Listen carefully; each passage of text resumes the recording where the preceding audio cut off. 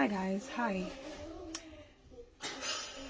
I'm about to say something, and if you get me wrong, just get me wrong, or if you get me right, get me right.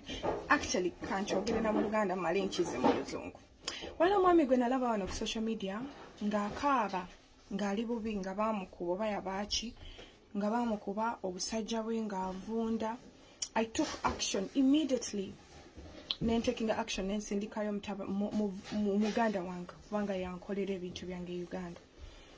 Ne bamutwala mu ddwaliro ne tusasula cash surgery buli kimu okujjanjabibwa each and everything.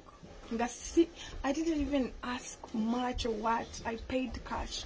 But surprising this same guy he recovered I just told him, ah, it's okay. You can, you know, you, you can just keep me anonymous. You know, you don't need to post me what, vichi vichi. Recently, he went and and met my mom. You know, mama. Still, we offered more support hmm? because he told us, you know, he's not okay or what or what. But surprising today, I woke up, guys. This is why some of us, not even, I shouldn't even put myself under some of us. Yensonga lwaki tulekeraawo okusaba katonda okutujja mu mbeera embi? Because agikuggyeemu akuwonyeza obulwadde you are okay completely but still okyakaaba ku social media nti tojjanjabibwanga. Yet i took you to surgery. Your surgery was successful. Everything was successful. Otandise n'empiso ze bakugamba taking emyezi mukaaga. And still you come here on social media crying that you didn't get any help. Mbu tebakujjanjaba teba mbu jjajjaawo ali mu bulumi nga ne jjajjaawo yabaddeyo ewa mama wange. You mbadde saagala kuvaayo kubanga nze ndi muntu. You know i do things that i keep quiet. But i'm supposed to help someone here. Ategeere. Nti oluusi mulaba abantu nga babonaabona olanga akaaba. Nga katonda yepanishingira abantu be.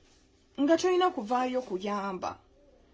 Abantu oba omunayuganda ali eyo ng'akaaba gwosobola okuba eh, lwaki akaaba nga katonda alimu panishinga kubanga omwami ono omulaba bamugye ne bamukola surgery buli kimu perfectly.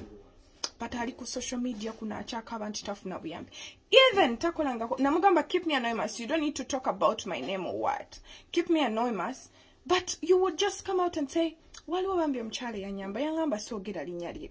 But I'm well waba oyagala kunyamba ompeeyoko ku buyambi oba obwokunywa oba that is fine. Naye tokeera ku makya nga toolaga nti tukwatibwangako even a single thing. So obulwadde bwobadde obufudde business me i didn't know. Me i thought you are hurting. Nenkukwata nenkujjanjabisa nga simanyi nti obulwadde wali obufudde business